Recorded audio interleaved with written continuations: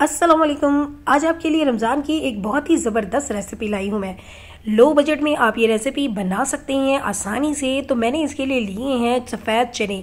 चनों को उबाल लेना है अच्छी तरह। उसके बाद फिर एक बॉल में मैंने डाले हैं और दो अंडे भी डाल दिए तो सबसे पहले हम चनों को और अंडों को मैश करेंगे। तो चने उबालने के लिए रात को पहले भिगो दिया करें और इसमें थोड़ा सा मीठा सोडा भी डाल दिया करें और थोड़ा सा नमक। सुबह ये पानी गिरा देना है और नया पानी डाल के चनों को उबाल लेना है। चने उबालने के बाद फिर मैश करने हैं। तो चने अच्छी तरह से मैश हो चुके हैं। अब हम इसमें मसाले डाल लेते हैं। तो एक चम्मच नमक डाला है और डेढ़ चम्मच इसमें मैं डाल दूँगी पिसी हुई लाल मिर्च। तो आप अपने टेस्ट के अकॉर्डिंग नमक और मिर्च एडजस्ट कर लीजिएगा। दो चम्मच इसमें पिसा हुआ धनिया डाल दिया है और आधा चम्मच हल्दी और एक चम्मच इसमें मैं डाल दूँगी सफ़ेद ज़ीरा। आप पिसा हुआ ज़ीरा भी डाल सकते हैं और आधा चम्मच इसमें डाल दी है कुटी हुई लाल मिर्च और एक चम्मच डाला है लहसुन अदरक का पेस्ट थोड़ा सा हरा धनिया और थोड़ी सी हरी मिर्चें डाली हैं और आधा कप इसमें मैं ब्रेड क्रम्स डाल रही हूँ और आधा कप इसमें मैंने मैदा डाल दिया है। तो अब इन सारी चीज़ों को हम अच्छी तरह से मिक्स करेंगे। अगर आपको लगे कि ये बैटर अभी आपका पतला है तो आप ब्रेड क्रम्स और मैदा थोड़ा सा बढ़ा सकते हैं। अच्छी तरह से मिक्स करेंगे। इतना मिक्स करना है कि आपको लगे ये थोड़ा सा हार्ड हो गया। तो ये देखेंगे, इतना हार्ड हो गया था। तो अगर आपको मैदा और ब्रेड क्रम थोड़े कम लगे तो वो ऐड कर सकते हैं मज़ीद भी। तो अब इसके मैं बनाऊँगी कबाब। तो कबाब बनाने से पहले मैं हथेली पे पहले पानी लगा लूँगी, क्योंकि पानी लगाने से फिर हथेली पे चिपकते नहीं है। तो थोड़ा सा इस तरह से मिक्सचर ले लिया है। अब उसे थोड़ा पेड़े की तरह हम बना लेंगे और उसके बाद फिर हल्का सा कबाब की शेप में दे देंगे प्रेस करके।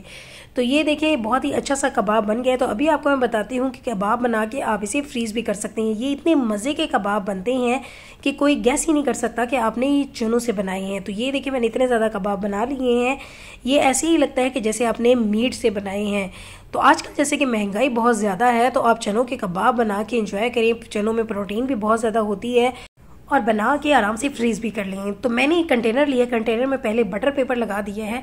उसके बाद फिर मैं ये कबाब रख हूँ। जितने आसानी से आप रखे जा सकते हैं, रख लें। उसके ऊपर फिर से बटर पेपर रखना है और फिर से ये कबाब इस तरह रख देने हैं। तो इसी तरह आप सारे कबाब रख के फ्रीज़ कर सकते हैं और जब भी दिल करे बस निकाले और फ्राई कर लिए। इसमें हमें एक्स्ट्रा अंडा भी नहीं लगाना पड़ेगा, क्योंकि हमने चनों में ही अंडा भी डाल दिया है ब्रेड क्रम्स भी डाल दिया और मैदा भी डाल दिया है। इससे बहुत अच्छी बाइंडिंग आ जाएगी। मज़ीद आपको कोई भी कोटिंग नहीं करनी पड़ेगी। तो ये देखें मैंने सारे कबाब जो हैं वो कंटेनर में डाल लिए हैं।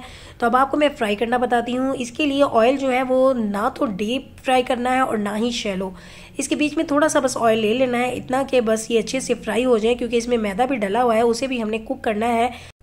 इसलिए तीन से चार मिनट एक साइड से फ्राई करेंगे और तीन से चार मिनट ही दूसरी साइड पे फ्राई करेंगे।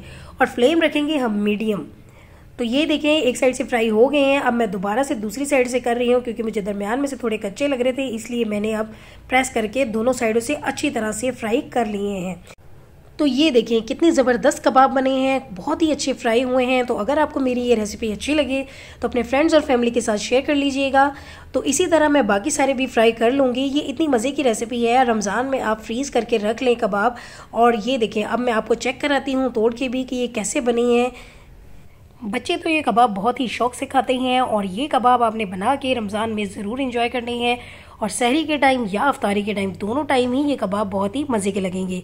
तो ये देखिए, तोड़ने से बिल्कुल ऐसे लग रहा है जैसे हमने मीट से बनाए हैं। बिल्कुल भी नहीं लग रहा कि ये चनों के कबाब हैं।